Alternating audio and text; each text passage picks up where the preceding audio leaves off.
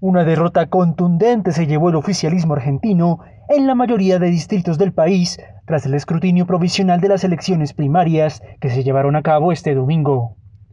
Tan solo en siete de las 24 jurisdicciones del país, el movimiento de gobierno Frente de Todos triunfó con sus precandidatos a diputados. Entre tanto, para senadores, solo vencieron en dos de las ocho provincias que este año eligen representantes para la Cámara Alta.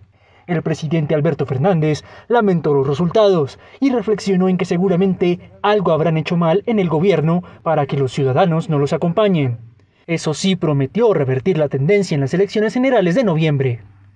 Analistas consideraban los comicios de este domingo como un plebiscito a la gestión del mandatario, marcada por la pandemia y la continuidad de la larga recesión que se inició en 2018 cuando aún gobernaba Mauricio Macri. Precisamente Juntos por el Cambio, coalición a la que pertenece el expresidente, fue la ganadora de la jornada, al ser la más votada en la mayoría de jurisdicciones.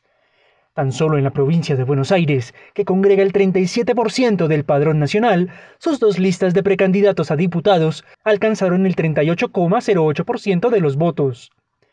Para estas elecciones primarias de voto obligatorio, estaban llamados a sufragar 34,3 millones de argentinos. Estos definieron las listas que competirán en las elecciones de noviembre, cuando se renovarán 127 de los 257 escaños de la Cámara de Diputados y 24 de los 72 del Senado.